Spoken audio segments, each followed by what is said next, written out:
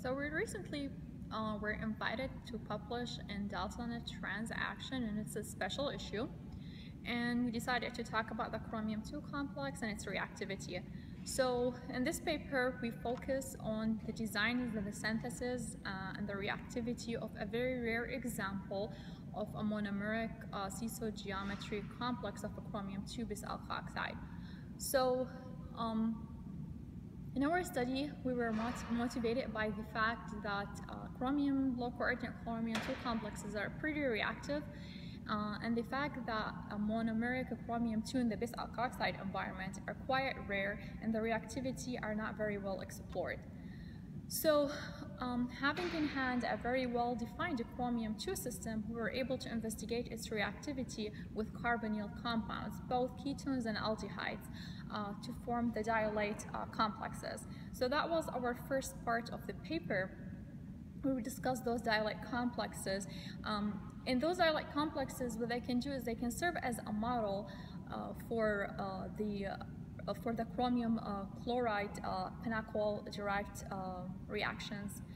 so in the second part of the paper, we talk about the reactivity of this chromium 2 bis alkoxide complex with carbon dioxide, which is pretty interesting because once the chromium um, 2 react with the carbon dioxide, it form interesting uh, dimeric uh, chromium 2 paddle wheel complexes.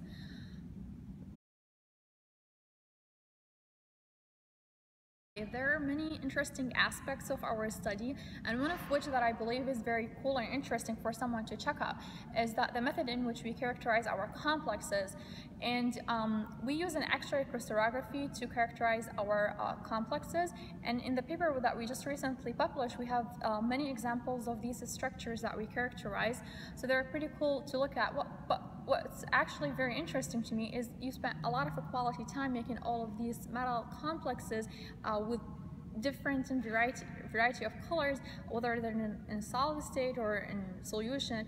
But actually what's fascinating is you're not only making these complexes, but you are able actually to look at the molecular in which you're making. So I think that's um, pretty interesting.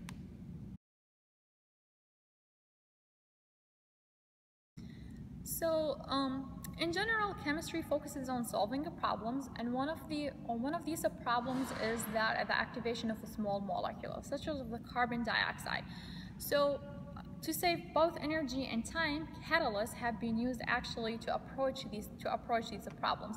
Uh, now, catalysis is usually used um, for the production of fuels and cheap uh, valuable organic compounds. And also these catalysts are sometimes hard to make. So in our lab, what we do is we work on finding and designing a new efficient catalyst for the activation of carbon dioxide and other uh, small organic compounds.